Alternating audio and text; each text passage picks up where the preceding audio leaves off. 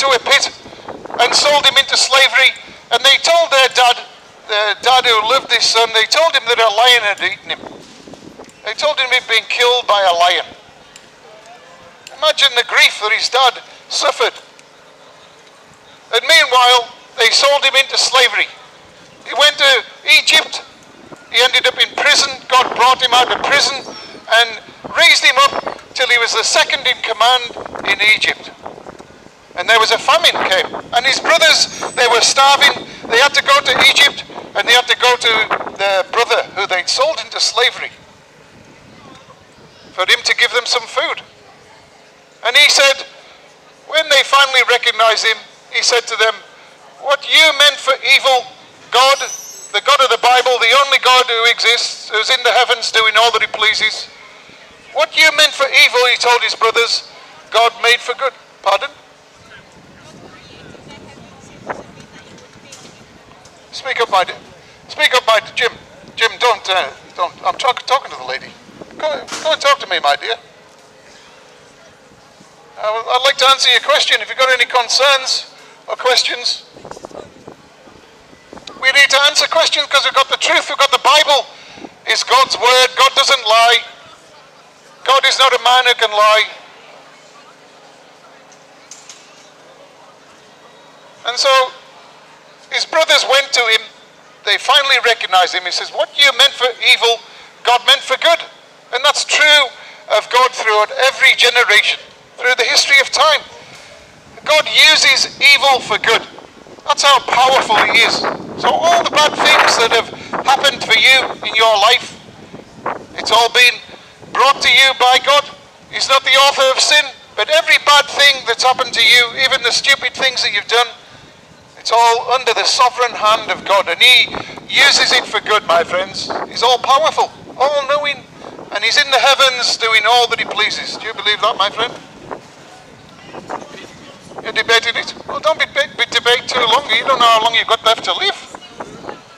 You need to think seriously about your eternal destiny, my friends.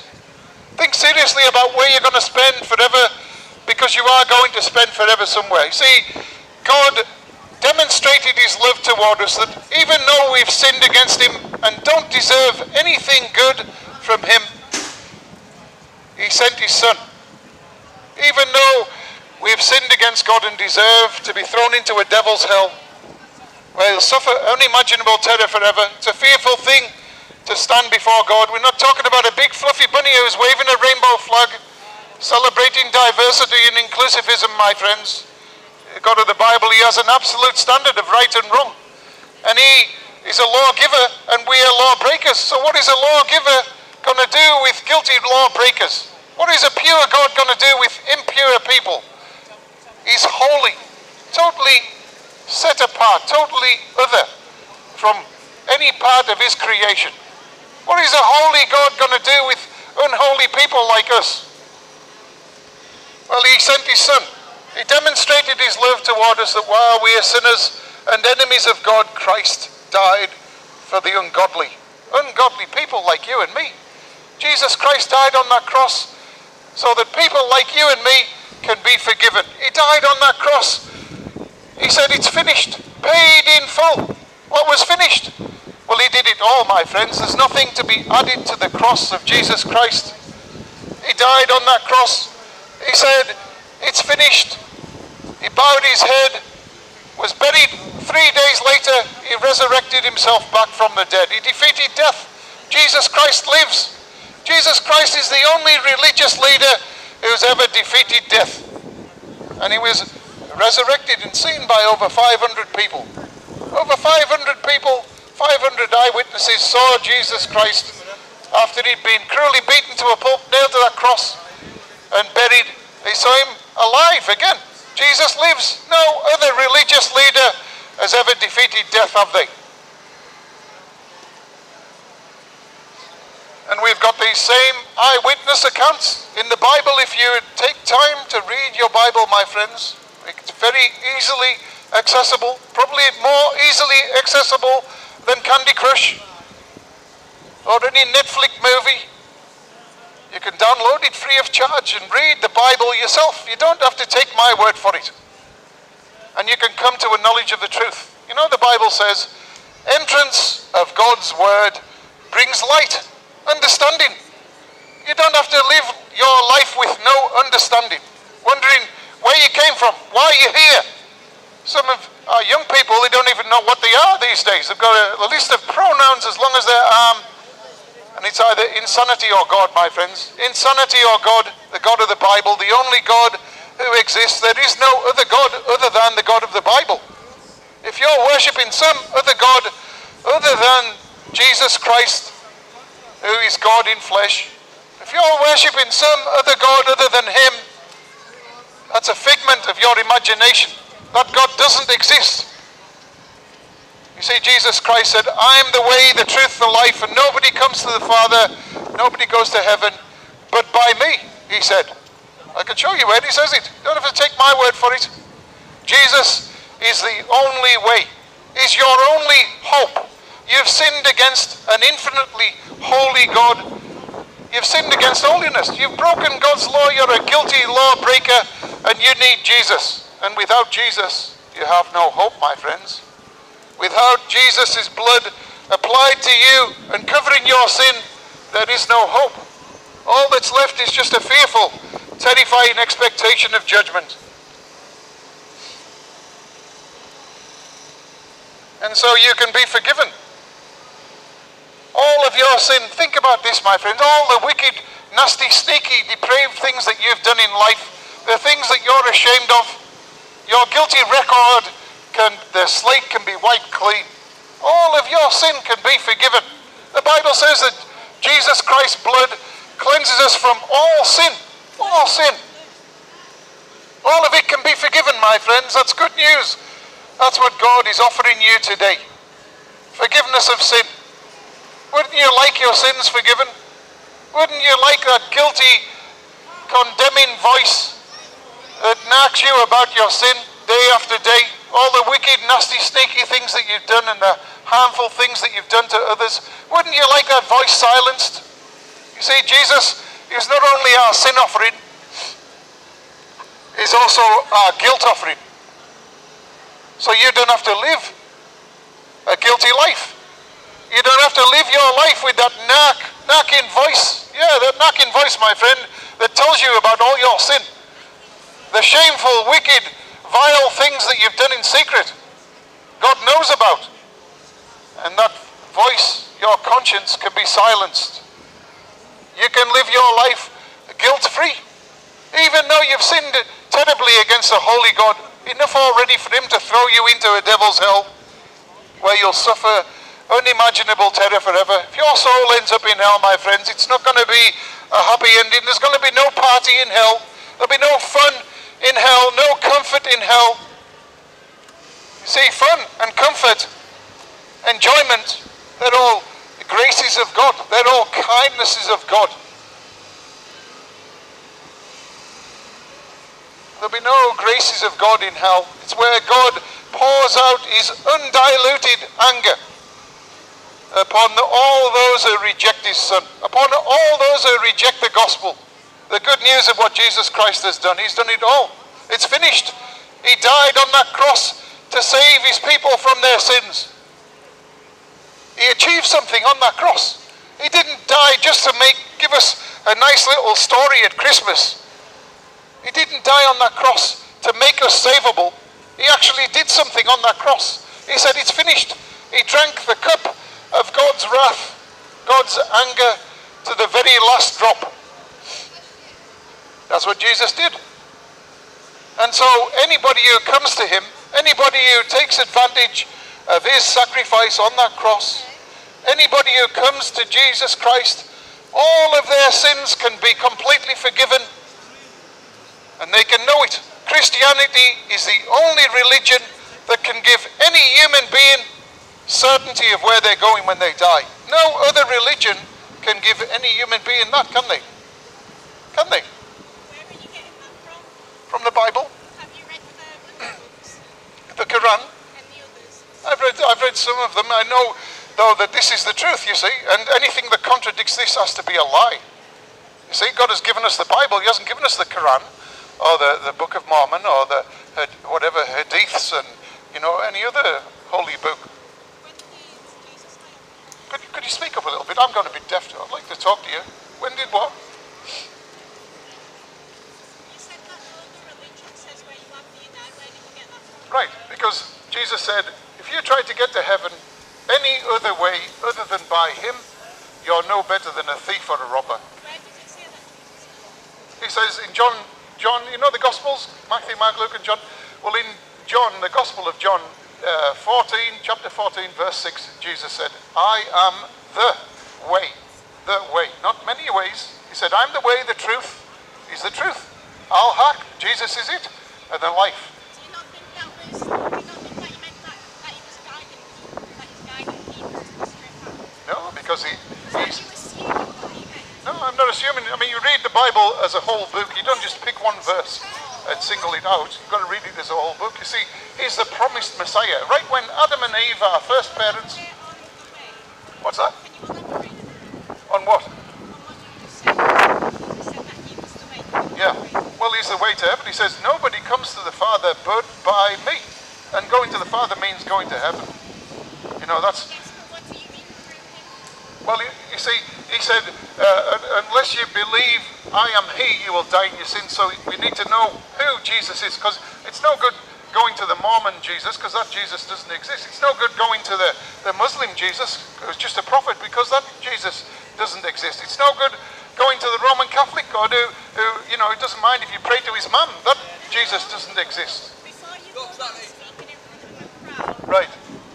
read all of them and just But okay. Well, let- me let me ask you this. You know, if you do you work, have you if you work in a bank and you deal with 50, 50 pound notes, you look at 50 pound notes every day they come in. Do you have to go looking at all the fake 50 pound notes to recognise them? You don't, do you? Well, it's an analogy, it's an illustration, might help you. If I know that this is the truth, and I do, and it is, if I know that it's, the, it's because the Bible says you can know the truth, you see. Because people look and swear, swear by God now that Right. what you're saying, that every word that you say is the truth. Well, I mean, I, you know, I'm human. I, I might slip up and make an error in my words, but when I say this, when I repeat this, I can't be wrong, you see, because God's word is perfect. Does it say in the Bible that no other religion Yeah, many, many places. I haven't, I haven't finished my sentence. Does it say in the Bible that no other religion says about like heaven or anything like that? Because you said that no other religion says where you go after you die. Right, no, no other religion has assurance. No other religion, That's what you said before. Is Right. that correct? that's correct, That's correct. no other religion can give, true, and you just no, it isn't true. You said Uh, it is true, sorry. No, what I said was, no other religion can give any human being certainty You've certainty. No, I haven't cut myself up, my dear. No other religion can give any human being certainty of where they go when they die. Because the Bible says this that these things are written so that you may know you have eternal life.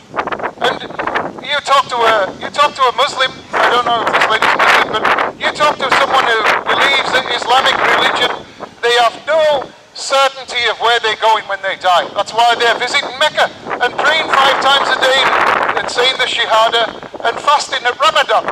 They're trying to earn their forgiveness, but they have no certainty. They have no assurance, my friends, because the Islamic religion doesn't give you that kind of assurance. You've just got to hope that Allah will be merciful to you on that day. There's no guarantee. It's like you just hit and hope. You just hope for the best. And all other religions are like that. Roman Catholics, they have no certainty of where they go when they die. They just hope that by visiting Lourdes, confessing their sins to a priest, praying the, the Hail Mary, praying the Rosary, they just scrape into purgatory maybe. You know, there's no assurance. But Christianity is the only religion that can give any human being, any image bearer of God, certainty of where they go when they die. Do you have certainty? Do you know where you're going to go when you die? Because you can, my friends. You can know for certain where you're going when you die. Only Christians go to heaven. Only Christians have their sins forgiven. Only Christians know God. And only Christians have certainty of where they're going when they die. We know for certain that our sins are forgiven. Not because we're good people, not because we're so nice and affable, not because we've got wonderful personalities and give money to charity. None of that, none of that gets us into heaven. You can be, you can be a nice person, but a lot of nice people are going to end up in hell. You see, being nice doesn't pay for your sin. The Bible says that without the shedding of blood, there is no forgiveness of sin. God requires the shedding of blood for sin. And without the shedding of blood, there's no forgiveness for you. If you have no blood sacrifice for your sin, then you're still dead in your sin. It doesn't matter how many times you fast. You can pray 55 times a day, but your sin remains. God requires a blood sacrifice for sin. And so 2,000 years ago, God himself entered humanity and he became that sacrifice. He died on that cross to save his people from their sins. He bled and died in agony on that cross as a sacrifice that appeased, turned back the anger of God. God is angry. Your God, your creator, the one who gives you life and lends you breath, is angry. He's angry with the wicked every day. And he's going to judge. And after death, after death, my friends, it's judgment. When we die, we stand before Him, the Creator of everything, the one who knows you better than you know yourself. God knows your heart. I don't need to know your sin. God knows everything, my friends. His eyes are in every place, beholding the evil and the good. God is watching you every single second of your life. And He's not looking the other way when you sin. He's not turning a blind eye to your sin. He's holy, pure. And what is a holy, pure God going to do with unholy, impure people? People who've messed up big time. People who've messed up big time enough for Him to throw them into hell. But today you can be forgiven. Today you can have your sins forgiven. That's good news, right? How shall we escape if we neglect such a great salvation? How can your sins be forgiven any other way? They can't, my friends. You can, you can be the most religious Muslim, the religious, most religious Roman Catholic, the most religious Buddhist, Hindu, Mormon, or Jehovah's Witness. But your sin remains. Jesus Christ said, if you try to get to heaven any other way other than by Him, you're no better than a thief or a robber. There's only one name under heaven given among men by which we must be saved, and that's Jesus Christ. Jesus Christ is your only hope today, for God so loved the world that He gave His only begotten Son, that whoever believes in Him, whoever puts their trust in Him, and believes in Him fully from their heart, will not perish, but will have everlasting life. Some people are going to perish. Don't let it be you, my friends. Don't let it be you.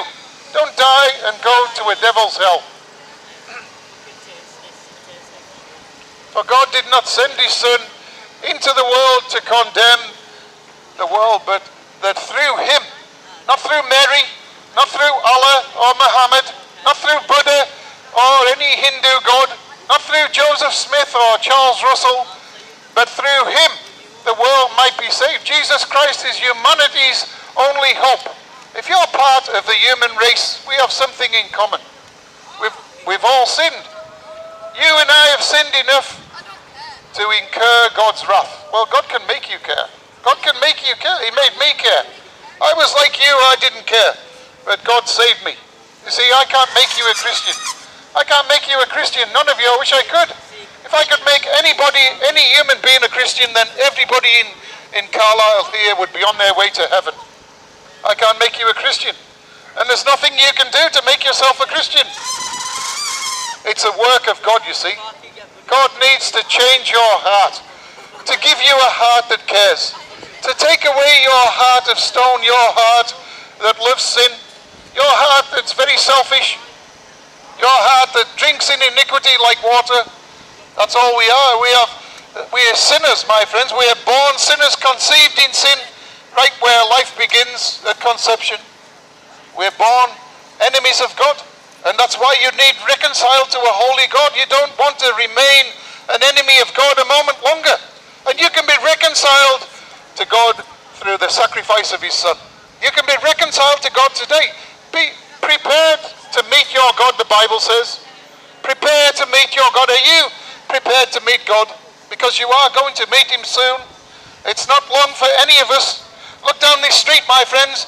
Within a hundred years from now, everybody that's in this street will have entered into eternity. Everybody. This lifetime is extremely short. Your life and my life, it's like a vapor, a puff of smoke that appears for a little while. And when God takes your life, the same God who gave you life, who knit you together in your mum's womb and made you either male or female that you are, and you can't change your sex. You can't, by the way. No, you can't, my friend. It's impossible. God made them male and female, male and female. He made them. You can't change your sex, my friends. You try really hard, are you? Well, why would you do that? Why wouldn't you want to be the male that God made you to be? You, know, you look like a male. You sound like a male. Were you born a male? Were you born a little boy? Well, I'm just asking you. You're asking me how do I know you're a male? I'm just asking questions. Is it wrong to ask questions? Okay, you don't have to tell me. Can't force your hand. But the problem is when you were you were born either male or female. There's no con. What? You're male. I'm a girl. You're a girl. Yeah. Okay, that's good. That's good. Whenever you were born, you're still still that sex. God made you either male or female, and he, you know why He did that? You know why God made the male and female? The Bible answers answers that. It says, "Have you not read?" Jesus said. He says, "In the beginning, in the beginning, God made them male and female. Why? For this reason, He says, so that a man shall leave his mother and father, be joined to his wife, and the two shall become one flesh." That's God's definition of marriage right there. One man, one woman within a marriage. Any any relationships outside of one man, one woman in a marriage is a sin. It's sinful. You see? What's what? You have to speak up a little bit. There's a bit of background noise. God loved. God, yeah, God, God loved you enough to knit you together in your mum's womb, and He He gave you the colour of skin you've got, the colour of eyes and hair. He determined your height. God has very lovingly took care of you and brought you here today. He's brought you this far. He's been very kind to you. And and think about this, he's been very kind to you and me, even though we've we've sinned against him terribly. Well, I mean, you know, we're fallen creatures. We're fallen creatures. See, um, people, yeah, because you see, the God of the Bible is a holy God, and He has an absolute standard of right and wrong, and He made you either male or female to be to to be to get married, have kids. Remember, He said, "Go and populate the world." I'm sorry, I never, I didn't hear that. Could you speak up a little bit? If you're transgender, yeah. you change your sex from male to female or vice versa, Right. are you still the sexes that God's made? Or Yeah. Well, uh, because I mean, it's quite simple, really. When uh, when someone who, who who goes through the process of transgenderism and, and says that they're now the opposite sex, when they die, and, and their body is in the in the grave, if somebody was to dig up their skeleton, that would be a skeleton of the sex that they were born, right? Wouldn't it? You get what I'm saying there? If you were, say you were born a boy, and then you, you decided uh, sometime in your teen years, you, you decided you felt like you were going to be the other sex, and you lived, you lived life the other sex, then when you died, you were, your skeleton would be of a male skeleton, you see? You can't change that. What's that? You know, you, you know both skeletons look the same. No, they don't. No, no, women have women have broader hips for childbearing. How come you didn't know that, my friend? That's basic biology. Women and men are not the same. That gender is cool. Men can't have babies. I'm sorry to burst anyone's bubble, but men can't have babies. That's just simple biology, my friends. Doesn't matter how, how much they want to, how, how much they kick and stamp their feet. A man can't have babies. Men and women are different. Men are generally stronger than women. Women are the weaker sex, just like the Bible says. What? You don't, don't agree with that? I know there's three women that could bench you. Well, look, there's a joker in every pack. But you, you know it's true because you look. They just had the uh, the Commonwealth Games, haven't they? And they had they had women running running 100 meters and men running 100 meters separate, didn't they? And the men always ran faster times than the women. Men are stronger physically than women. That's a fact. That's a fact, my friends. You can't deny that. So men and women aren't the same, are they? Yes, they are. No, they don't. Don't be silly. I've just explained it to you. Pal, I the the. But the problem is, there's a God in the heavens, and He's not pleased with us when we go our own way and do what's right in our own eyes. You know, most people, most people are living their lives as though God doesn't exist. You know, they don't want Him interfering with their decisions in life, and it, that shows you the wickedness of mankind's heart. Because the God of the Bible, He is a is a good God. He's a God who's a very loving God, and He's a God who, who's, who's taken taken care of you, took or took care of you uh, this far. He's provided food, shelter, clothes. You know, your families that you were born into. He's given you that. He's a good God. Hi, Jim. Still, lo- it wouldn't still not love you for It's got a camera. You'll put your YouTube without your Yeah, there's a camera here. just, just, just be all right? Thanks. Like my solicitor. Yeah, nobody, nobody's bothered about cameras, Jim, these days. Okay, okay. Couldn't God not just love you for who you are? If he's all Right, well, he does. Like, offending some people to do that? The God of the Bible does love you for who you are, but He made you either male or female, and that's who you are. Why would you want to be anything different to what God has made you? That's my question. Why would anybody not want to be the person that God created them to be? I don't believe, but if God's all accepting and you Yeah. feel comfortable in your own body, why would I think- God, if he was all loving, suddenly hate you for wanting to live Well, he, he has a standard, doesn't he? And he says what's right and wrong. He's a, he's a, he's a lawgiver, and he's a moral being, and, he, and he, you know, and the only we know right from wrong, don't we? We, we you know it's wrong to murder. You know it's wrong to steal and lie, don't you? Yeah, do you know what Because you're an image bearer of God. Animals don't know right from wrong, do they? And you, you know what it's like to live, because you're made in the image and likeness of God. Animals don't. In my like ungodly view of what's right and wrong, it's probably wrong to prey on teenagers outside of Primark. It's probably wrong to what? Prey on teenagers outside of Primark. Prey on teenagers. What do you mean prey on teenagers? Well, I'm a teenager, I'm not. I don't know. How do you mean pray? I'm not praying for anybody. Is that what you mean, praying? Praying, yeah. Well, I'm not praying at the moment. I'm preaching at the moment. Oh no, no, that's not the type praying I'm on about. I'm talking about the kind of praying that you're doing. Oh, right. You think I'm praying on people? Aye. Well, you know, if you get saved and you get right with God through me being a pest and a nuisance and disturbing peop your peace, well, I don't mind. I'm, I'm fine with that. And, and God's fine with that. Because He says, unless you repent, unless you change your mind and align your thoughts with Him, with His Word, you will perish. That's what God says. God commands all people, all people everywhere to repent. You see, you continue on the path that you're on, ignoring God and living life how you see fit, and remaining a, a selfish uh, individual, just doing what's right in your own eyes, that won't end well. There's a judgment day coming. God, as He says, it's, it, it's appointed for us to die once. Every single one of us out here will die one day. And that's appointed by God. It's fixed already. Nobody's going to die any earlier than their appointed time. God, He does what He pleases. There's not a raindrop falls from that sky that doesn't hit its appointed target. Every single thing in God's universe has a purpose. There's not a speck of dust that's irrelevant in God's universe. So uh, He even clothes the grass. He takes care of little blades of grass that nobody is concerned about. How much more has He took care of you? You're an image bearer of God. What a sad thing it is that people made in the image and likeness of God end up in hell suffering His vengeance forever. What a what a waste of a life.